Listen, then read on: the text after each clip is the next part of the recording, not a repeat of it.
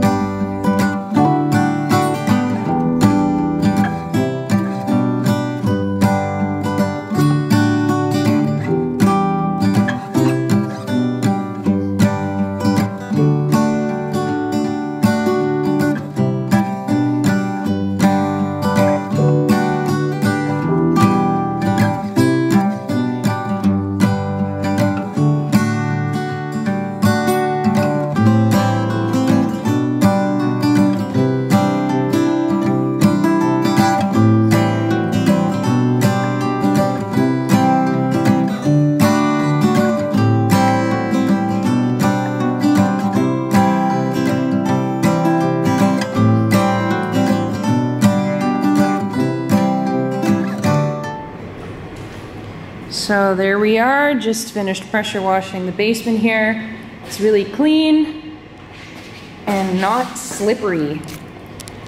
So we're doing DHI tomorrow morning, in which case it's always really important for us to make sure that this basement floor is super clean and safe to walk on because we don't want any sort of slipping happening because the concrete floor is pretty hard and falling on it is not a whole lot of fun, but we still have to put up a couple of uh,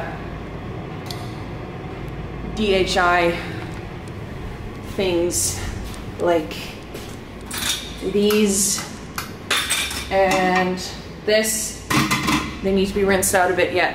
But DHI stands for Dairy Herd Improvement and using that we can see what the components of a specific cow's milk are. So you can test for protein, you can test for fat, you basically keep track of how many liters of milk she produces per milking on average. And you can test for somatic cell count as well. So we do this like every five or so weeks and I have some information on my phone because there's no way that I can remember all of it off the top of my head like I can the cows' names. DHI also gives us a somatic cell count hot list, which is a list of cows that have a higher somatic cell count, which can tip us off actually to be able to figure out which ones are more liable to get mastitis. And the ones that are really bad and really high but don't have mastitis yet, we typically milk them out regardless, just because we don't want somatic cell count going too high into our bulk tank because we can actually get penalized for that. So it's really important that we take these milk tests from each individual cow just to monitor how each cow is doing at the molecular level. So that's why we do DHI tests, so that we can make sure that we have a great milk product being brought off the farm. So it's actually the next day. We finished DHI this morning and everything went really well. It was really cool because we sample each and every cow individually so they get put into these little plastic pop-off containers and we put, or the DHI lady, she puts a little orange pill in there so that it preserves the milk and keeps it fresh until it gets to the lab where it'll get tested. So it's pretty cool. So sometimes the milk turns a little bit orange in those little containers. the first time I saw that, I was like, what is wrong with our cows? But then uh, it got explained to me and it made a lot more sense. But I'm here in the goat barn again with Miss Payette here. She is still pregnant. and she's very round. I cannot believe how big she is. There has to be three in there. That's her baking soda. Because she was actually a little bit bloated yesterday, so I had to help her out there. And the babies were okay because I was massaging her belly a little bit and I could feel them moving around and I could actually see them moving. So she's good. She's a little uncomfortable. Uh, and she's just continuously uncomfortable at this point just because she's so pregnant. But she's eating and enjoying life, so she's doing good. Anxiously awaiting her babies. and these little ones are doing really great too.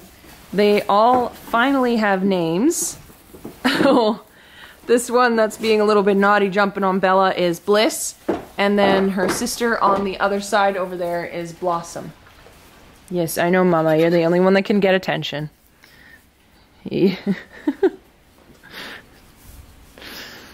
so Bella has Bliss and Blossom. Look at how round she is. Unbelievable. I hope she has them soon because I don't think she can get much bigger. and then over here for Roxy's babies, we have Rookie and Rascal. So they're all named, finally. These two are so unbelievably affectionate. I don't know what it is, but they're a lot faster to warm up than the other two were. They're so curious and so sweet. You trying to eat my finger?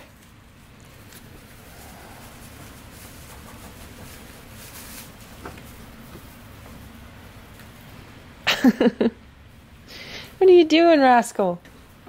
She definitely suits her name. She's the most rambunctious little thing and always into everything.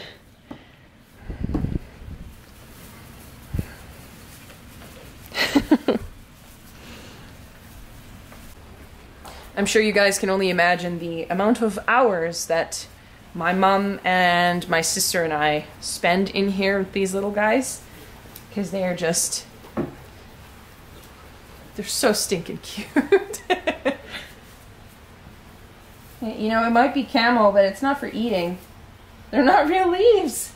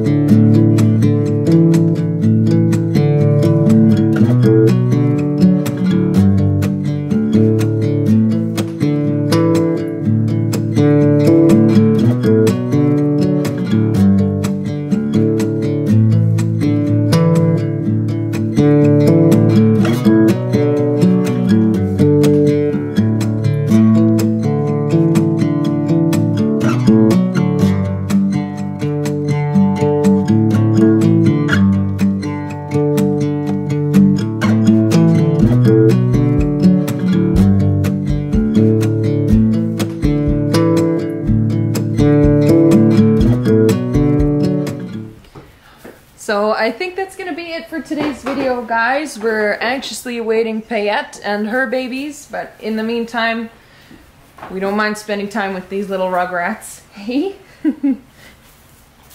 but yeah, I hope you guys enjoyed the video, and if you did, please like and subscribe and share with a friend. And I will see you guys in the next video. Bye.